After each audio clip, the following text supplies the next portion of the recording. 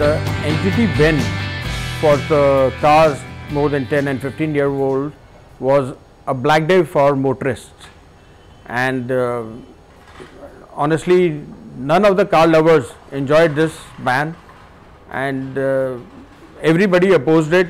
But uh, care th- th- this was something which had to happen and which was required also but to a limited extent. But uh, they didn't had any specified uh, margins or uh, rules as per to how to ban and ban what cars. The people were not able to drive the cars. They were not able to bring them out. They were not able to drive them unless these cars are driven once in a while. You see nothing can uh, survive if it doesn't move. Anything which is stagnant will die its own death so the if the cars are not uh, driven or the bikes are not driven on the road or for a while they the all mechanicals and other things they tend to lose their life. So the ban lifting of the ban was really good. It was a very big relief and all car lovers enjoyed it and thanks to the NGT that they thought of this. And uh, I would uh, further like our machinery our government to relax it a bit more so that people can use the cars. Maybe for a limited period definitely these cars are used for limited period only. Nobody drives them regularly. But if these cars are permitted to be driven around at least the new generation can see them. Not many people have opportunity to see these cars unless they are driven on road. Secondly the government should look forward to uh, have a kind of a statistics of these cars by giving them special number. And uh, if they give a special number they will have a proper statistics in which state how many cars are there. And definitely there are so many cars there could be about uh, 35 percent of the cars which don't, don't have proper documentation. If government can help us in doing that giving a special number to the cars so the cops can also uh, identify that these are the vintage cars. You see such cars can be identified. They look vintage but so- some cars are modern vintage which generally people don't realize that it looks like ambassador or to a layman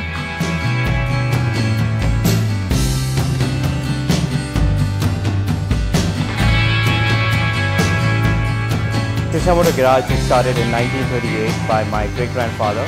He used to work for Rolls Royce back then, and uh, we, I'm the fourth generation here, and we've always been passionate about cars.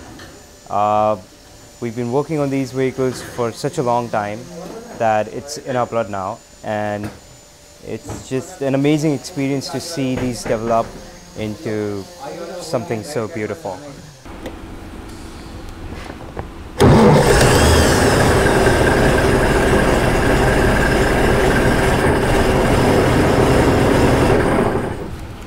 So I have been driving this uh, Austin Chummy for now three years, and I was 21 when I started uh, driving this. It's a privilege driving this car because it's been in my family for four generations now, and I'm the fourth one driving this. Uh, the first rally that I went to was uh, ITC rally, and it was uh, in Grand Bharat. I remember in Gurgaon, and I got a special award for being the first lady driver and the youngest driver in that car rally. So I think it's a completely different. Um, I mean, you get a very, uh, you, you feel very privileged driving this car. and I am the third generation in this field. This uh, I am I have a privilege to work under my grandfather, my father, my with my brother and with my son also. So it's it's been fun working on these cars and I would term them as vintage cars and classic cars. Uh, during my father's and my grandfather's period they were normal cars. So but I did observe them being done by them. And this Austin I'm standing with was one of the first few cars which I did. And my I always loved Austin. My father got me one. And my father never wanted me to restore this initially. He said okay it will take some time and uh, let's do it later on and there was a vintage season the statesman rally was on he- head and he, we were restoring few cars that time but um, as a youngster I was too uh, I, I, too willing to restore this car and drive my Austin. So, wi- without any consult from my father, I started working on this car. I made it happen, and this car worked, and it went for the rally, and it this beauty has never looked bef- before. After that rally, she has never stopped. She has done wonders. It's traveled all the way to Shimla and all. So mechanically, I was, I proved myself that I can handle such cars. Well, they were best cars in India, and mm-hmm. we were the best importers of the cars. Our Nawabs, our royalties, and our big men's were really, and they are still fond of these cars and machines.